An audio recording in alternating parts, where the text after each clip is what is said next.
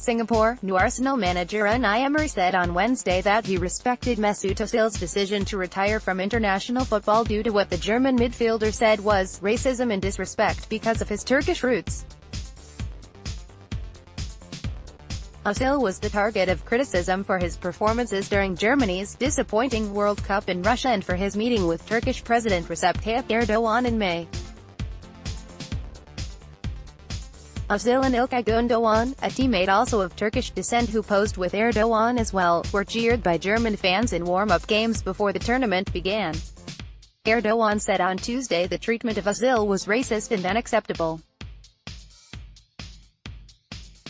The 29-year-old's decision has triggered a bad-tempered public debate in Germany about relations with its largest immigrant community.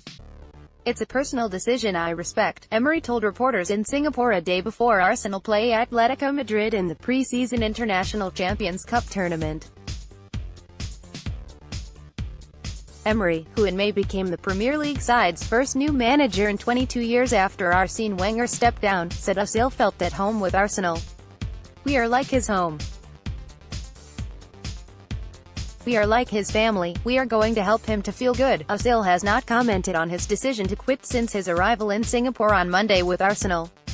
Arsenal will also play Paris Saint-Germain on Saturday in the tournament. Reuters